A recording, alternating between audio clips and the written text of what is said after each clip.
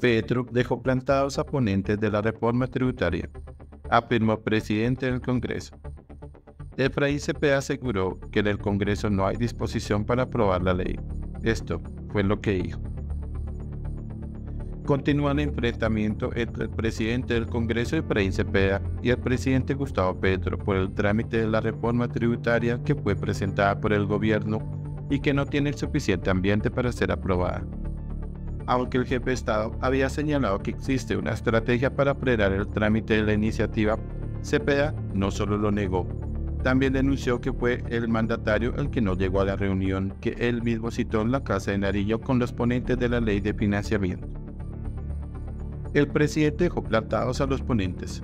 Lo citó a las 5 de la tarde, luego a las 6 y a las 8 de la noche. Ellos se retiraron, reveló CPA.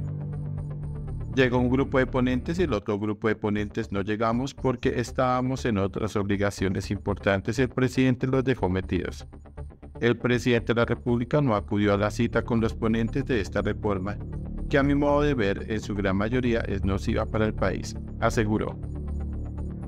El presidente del Senado afirmó que se realizarán varios foros en diferentes ciudades del país para conocer la opinión de la ciudadanía sobre esta reforma. Tenemos unos foros regionales en Barranquilla, en Cali, en Pereira, y vamos a escuchar a la gente porque de eso se trata, poner el oído en las comunidades y que las comunidades nos indiquen qué sienten y qué piensan y para no legislar de espaldas a la gente, indicó. CPA reiteró que no hay ambiente en el Congreso de la República para aprobar esta ley y así lo consideran la mayoría de los ponentes de la iniciativa.